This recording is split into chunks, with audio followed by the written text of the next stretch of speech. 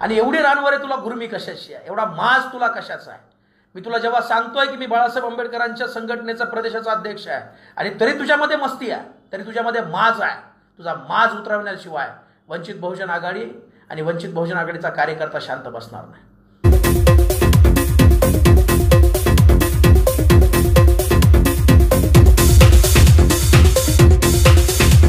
विठ्ठलराव शिंदे सहकारी साखर कारखाना माडा हा कारखाना राष्ट्रवादी काँग्रेसचे आमदार बबनराव शिंदे यांच्या मालकीचा आहे. याच कारखान्यावरती संप संपल्यानंतर किंवा संप थांबवल्यानंतर पाडळी तालुका शिरूर कासार येथील गणेश राम मिसाळ नावाचा ऊसतोड मजूर हा ऊसतोडणी करण्यासाठी गेला. ऊसतोडणी करण्यासाठी गेल्यानंतर त्या कारखान्याच्या आतमध्ये गाडी ऊसाची गाडी खाली करायला गेल्यावर तो एका ठिकाणी बसला होता आणि त्या ठिकाणी कारखान्याचं एक गेट त्याच्या अंगावरती पडलं. त्याच्यामध्ये त्याच्या मणक्याला जबर दुखापत झाली. आणि त्यामध्ये तो गंभीररित्या जखमी झाला. त्याच्या मणक्याचं ऑपरेशन करावं लागलं. आजही त्याच्या मन कमरेच्या खालचा जो भाग आहे तो भाग लुळा पडलेला आहे. ऑपरेशन झालं ऑपरेशनला एक लाख पंच्याण्णव हजार रुपये खर्च आला. या एक लाख पंच्याण्णव हजारापैकी एक लाख रुपये कारखान्याने दिले. परंतु पंच्याण्णव हजार रुपयासाठी गणेश मिसाळ यांच्या वडिलाला दारोदार भटकावं लागलं. व्याजानं पैसे काढावे लागले. आणि त्याचे उपचार पूर्ण झाले.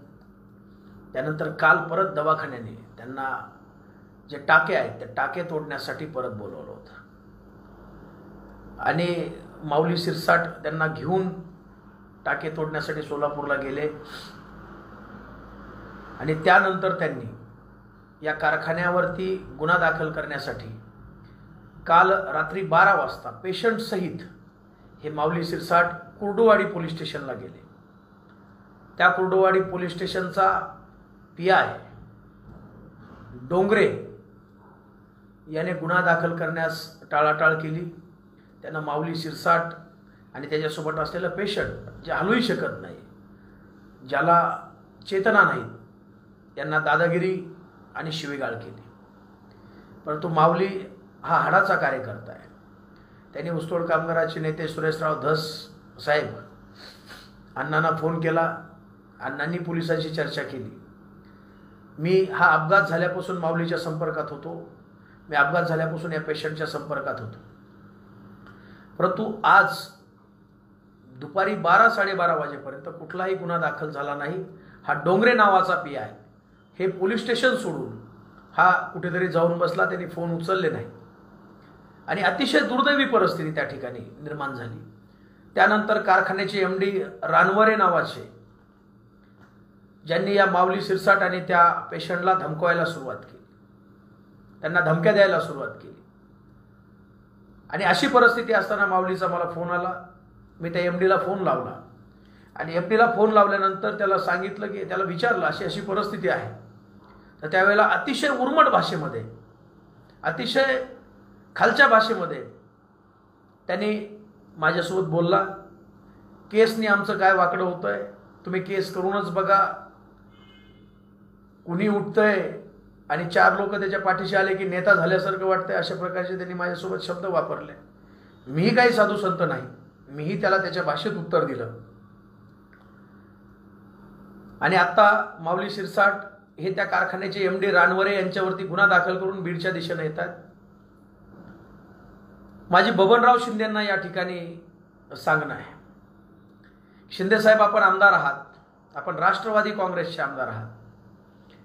आणि राष्ट्रवादी काँग्रेसचे सर्वे सर्व आदरणीय शरदजी चंद्रजी पवार साहेब यांच्या नेतृत्वाखाली काल परवाच ऊसतोड कामगाराचा आणि कारखानदारांचा एक करार झाला.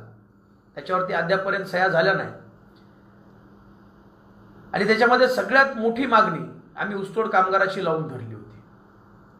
परंतु ऊसतोड कामगाराची मागणी आम्ही लावून विम्यावरती कुठलाही निर्णय न होता हा करार तोंडी झाला.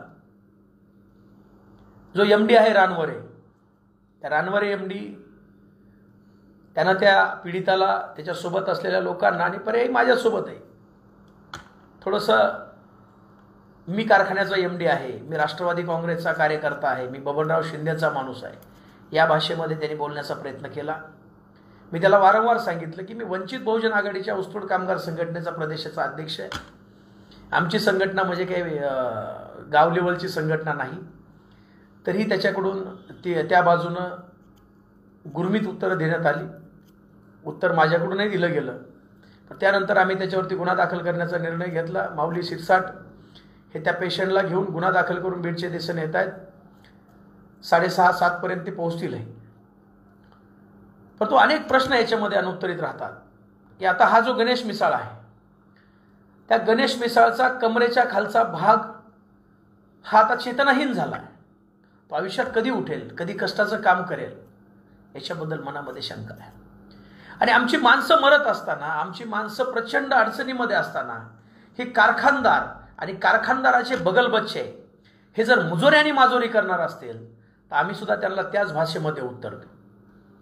रानवरे जिल्हा तुझा होता पोलीस स्टेशन तू खरेदी केलेलं होतं परंतु आमचा स्वाभिमान तू खरेदी करू शकला नाही तुझ्यावरती गुन्हा दाखल झाला. पण एक लक्षात ठेव की तुम्हाला ऊसतोड मजूर हा बीड जिल्हा आणि आमच्या भागातूनच लागतो. आमच्या रक्तावरती तुमच्या फॉर्च्युनर फिरतात आमच्या रक्तावरती तुमच्या मर्सिडीज फिरतात. तुमच्या मर्सिडीजमध्ये जे जळतं ना ते डिझेल नाही जळत. ते ऊसतोड कामगाराचं रक्त आणि घाम जळतो हे लक्षात असलं पाहिजे. आणि एवढी रानवर तुला गुरमी कशाची आहे? एवढा माज तुला कशाचा आहे? मी तुला जेव्हा सांगतोय की मी बाळासाहेब आंबेडकरांच्या संघटनेचा प्रदेशाचा अध्यक्ष आहे आणि तरी तुझ्यामध्ये मस्ती आहे तरी तुझ्यामध्ये माज आहे तुझा माज उतरवण्याशिवाय वंचित बहुजन आघाडी आणि वंचित बहुजन आघाडीचा कार्यकर्ता शांत बसणार नाही. तू सांगतो तुम्हाला काय करून घ्यायचं तर करून घ्या. तुला दाखवतो काय करतो ते. तुझा कारखाना तिथे येऊन जर नाही बंद केला तर बाळासाहेब आंबेडकरांचं नाव पुन्हा आयुष्यात कधी सांगणार नाही. माणसं मरत असताना तुम्ही दादागिरी करताय. बबनराव शिंदे तुम्हाला लाज वाटायला पाहिजे. राष्ट्रवादी काँग्रेसचे आमदार आहेत तुम्ही. अरे एकदा जर तुम्ही जे- हॉटेलमध्ये जेवायला गेले तर लाख लाख दोन दोन लाख रुपये बिलं भरता. आणि आमची माणसं मरायला लागलेलं असताना उपकार केल्यासारखे तुम्ही आम्हाला लाख रुपये देता. उरलेले पंच्याण्णव हजार रुपये त्या पेशंटच्या त्या उस्तोड कामगाराच्या आईबापाने आणायचे कुठून? आयुष्यभर त्याला काम करता येणार नाही. आयुष्यभर तो आता अपंग झालाय. त्याची भरपाई देणार आहे कोण? त्या बाबतीमध्ये विचार व्हायला नको. माणसं नाहीत. त्याला मुळंबाळं नाहीत त्याला आईबाप नाहीत. तो कष्ट करायला आला होता तो चोऱ्या करायला नव्हता. आणि अशा माणसाची जर तुम्ही चेष्टा करणार असाल अशा माणसाला जर तुम्ही त्रास देणार असाल तर वंचित बहुजन आघाडी सुद्धा तुम्हाला त्रास दिल्याशिवाय राहणार नाही. माझं या व्हिडिओच्या माध्यमातून शरदचंद्रजी पवार साहेबांना विनंती आहे. या राज्याच्या मुख्यमंत्र्यांना सुद्धा विनंती आहे. आणि साखर आयुक्ताला सुद्धा विनंती आहे. साखर आयुक्त साहेब शेखर गायकवाड साहेब आपण संवेदनशील आहात. परंतु जर आमच्या ऊसतोड कामगाराला न्याय मिळाला नाही जर आमच्या ऊसतोड कामगाराला भरपाई मिळाली नाही तर निश्चितपणे दिवाळीच्या दिवशी तुमच्या कार्यालयाला टाळं ठोकल्याशिवाय आम्ही राहणार नाही. बाकी तुम्हाला काय ताकद लावायची ते लावा. तुम्हाला काय करायचे तर करा. ते मांजरीच्या कारखान्यावरती तुम्ही आमच्यावरती बलप्रयोग केला तिथं तुम्ही दादागिरी केली तुम्हाला माहीत होतं. की हे लोक आतमध्ये आली तर आपल्याला जो फसवा करार करायचा तो करता येणार नाही. पण तो शरदचंद्रजी पवार साहेब आपण या ऊसतोड कामगाराचा तळतळाट लावून घेऊ नये. हे प्रचंड गरीब लोक असतात. प्रचंड कष्ट आणि मेहनत करतात. आणि या लोकांची जर अशी हेळसांड होणार असेल अशी चेष्टा होणार असेल तर आम्ही सुद्धा शांत बसणार नाही. बबनराव शिंदेंचा एम डी रानवरे तुला माझं जाहीर आव्हान आहे. मी तुझ्या कारखान्यावर येतो आहे. तू कसा मला अडवतोय तेच बघतो. तुझ्या अंगात जी मस्ती तुझ्या अंगात जो माज आहे ना पैशाचा आणि तुला वाटतं आमच्या पाठीमागं पावर आहे. तुझी पावर आणि पैसा तुला दाखवतो. परंतु हे जे अनुत्तरित प्रश्न आहेत या प्रश्नावरती आपण विचार करणं गरजेचं आहे. आता त्याचा अपघात झाला काल परवा एकाचा मृत्यू एका आमच्या भगिनीचा मृत्यू झाला. आणखी एक जणाचं ट्रॅक्टर विहिरीमध्ये पडलं त्याची डेड बॉडी आज सापडली आहे. आणि स्वतःला उस्तोड कामगारांचे नेते म्हणवणारे नेते आपण साधं त्यांची चौकशी करायला सुद्धा जात नाहीत साधं चौकशी सुद्धा करत नाहीत ही दुर्दैवाची गोष्ट आहे. येणाऱ्या दिवाळीपर्यंत.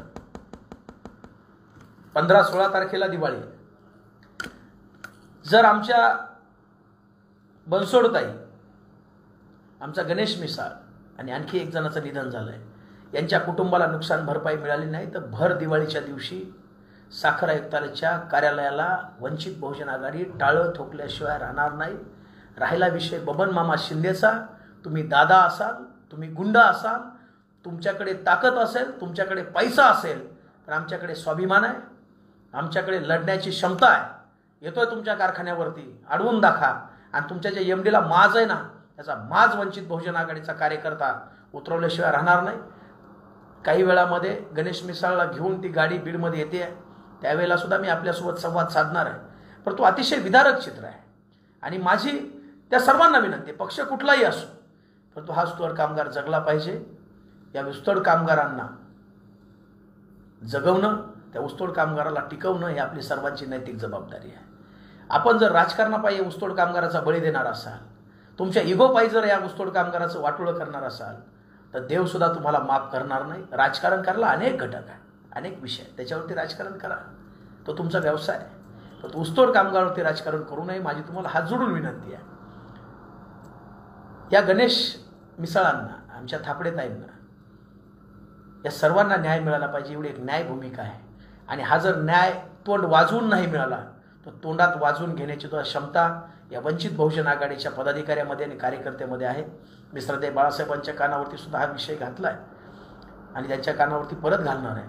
आणि जसं आंदोलन मांजरीला झालं त्याच्यापेक्षाही मोठं आंदोलन त्याच्यापेक्षाही मोठं आक्रमक आंदोलन हे दिवाळीच्या दिवशी मी माझ्या घरामध्ये दिवाळी साजरा करणार नाही कारण माझा ऊसतोड मजूर हा फडामध्ये असतो. मी अनेक वर्ष दिवाळी केली नाही.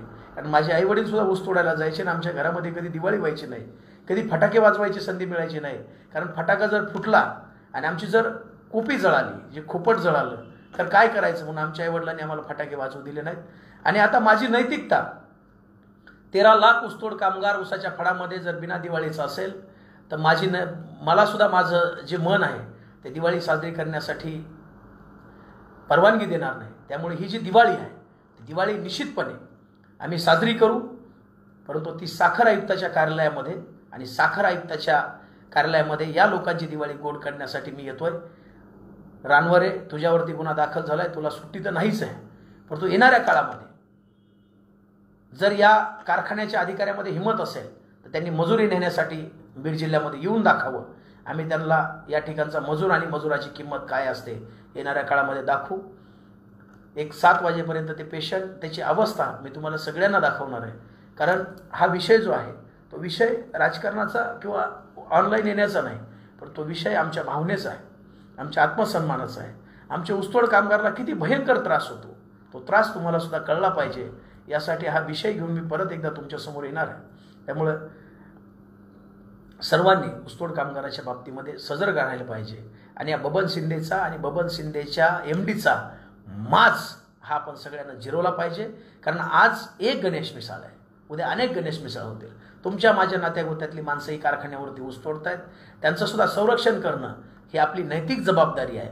आणि या जबाबदारीला जर आपण झटकलं ही जबाबदारी जर बाजूला टाकली आणि आपण जर कुणाला घाबरलो आपण कुणाला जर भिलो तर ही लोकं पुन्हा एकदा माजल्यासारखं करल्याशिवाय राहणार नाही. आपली लोकं मरतायत याची यांना चिंता नाही. हे आपल्या माणसाला भाजीपाल्यासारखं समजतात. आपण यांना विनंतीच्या भाषेत बोलतो ते दादागिरीच्या भाषेमध्ये बोलतात. मी थोड्या वेळामध्ये माझं आणि त्या एम डीचं जे संभाषण झालं आहे ते सुद्धा सोशल मीडियाच्या माध्यमातून आपल्यासमोर मांडणार आहे. कारण ही कुठलंही न्यूज दाखवणार नाही. कुठल्याही न्यूज चॅनलला याच्याशी सोयरसुतक नाही कारण त्यांना बिहारचा निकाल दाखवायचा आहे. त्यांना आमचं जगणं आणि मरणं याच्याशी काही घेणं देत नाही. त्यामुळे सोशल मीडियाच्या माध्यमातून हे तुमच्यासमोर याच्यासाठी मांडायचं आहे की तुम्हाला सुद्धा आमचं दुःख हे प्रामाणिकपणे कळलं पाहिजे. कुठल्या परिस्थितीमध्ये जगतो आणि कुठल्या परिस्थितीमध्ये त्याला जगण्यासाठी ही लोक भाग पाडतात हे सुद्धा आपण पाहणं गरजेचं आहे. त्यासाठी हा सगळा शब्दप्रपंच आपल्यासमोर आहे. ज्या वेळेला पेशंट येईल त्यावेळेला निश्चितपणे मी मला जेवढं शक्य आहे श्रद्धे बाळासाहेब आंबेडकरांच्या वतीनं मी निश्चितपणे मदतीला त्याच्या धावून जातो. मी प्रत्येक अपघात घडल्यानंतर प्रत्येक ठिकाणी मी जातो मी प्रयत्न करतो. परंतु आपले प्रयत्न हे तुटपुंजे आहेत. आपण पुरू शकत नाही. सरकारची नैतिक जबाबदारी आहे ती जबाबदारी सरकारनं स्वीकारली पाहिजे. आणि सरकार स्वीकारला नसेल तर आम्ही सरकारच्या गचुऱ्याला धरून ती जबाबदारी स्वीकारायला एवढंच या ठिकाणी सांगतो आणि थांबतो.